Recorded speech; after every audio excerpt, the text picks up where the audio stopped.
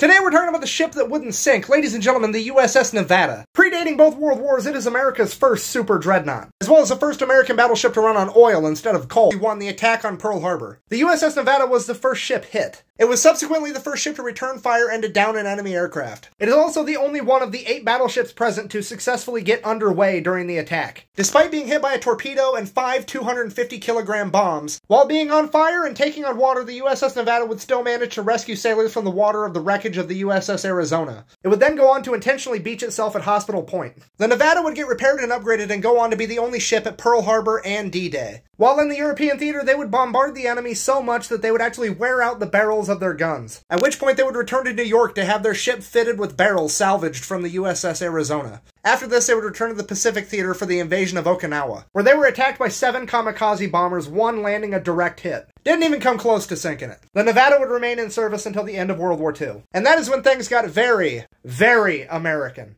You see, the USS Nevada was almost 40 years old and ready for retirement. So what do you do if you're Uncle Sam? Do you turn it into a giant floating museum like all the other battleships? Nah, there's an unsinkable battleship on the planet, and if anybody's gonna sink it, it's gonna be him. Doesn't matter if it's ours, he wants a street cred. So in what I can only describe as the most violently American thing I've ever seen, we painted it neon orange and dropped a nuclear fucking bomb on it for funsies. Sorry, for research. This is what would be known as the Bikini Atoll experiments. Fun fact, this is the inspiration for the SpongeBob cartoon. You know, the guy that lives in a pineapple under the sea? Yeah, you know, he lives in Bikini Bottom, Bikini Atoll. See what they did there? I'm trying to tell you your favorite childhood cartoon is just a knockoff of Godzilla.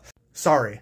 Uh, anyways, here's the kicker. It didn't sink. How that's possible, I have no idea. I guess you're gonna need something more than a burning, tingling sensation to take out a ship named after the home of Las Vegas. So you just hit your own boat with a nuclear bomb and you didn't sink it. What do you do? Fucking double tap, hit it again. They dropped a second nuclear bomb on it. And apparently the Nevada is made out of Nokia phones because it survived. So now you've got a 28,000 ton battleship that looks like a fucking road cone and is highly contaminated with radiation. It's kind of becoming a problem. So they dispatched every available ship they had to go bombard it, including one of America's biggest battleships, the USS Iowa, shooting 16 inch shells that weigh approximately 2,000 pounds apiece. The Iowa and several other ships fired upon the Nevada for five days straight, and were still unable to sink it. A direct hit from an aerial torpedo would finally sink the USS Nevada, ending the story on what is arguably the toughest naval vessel of all time. And I only say arguably because of the USS Laffey, not because of the Bismarck. Nobody cares. Buh, it took the entire British Royal Navy to bring it down. And even then, the crew intentionally sunk it so it wouldn't fall into enemy hands. You know what? We sunk our own ship too. The only difference is we did it after we won. And even then, we did it with more style. Talk to me when you get two atomic bombs under your belt. Merch store and other links are available at thefatelectrician.com. So until next time, Quack Bang out.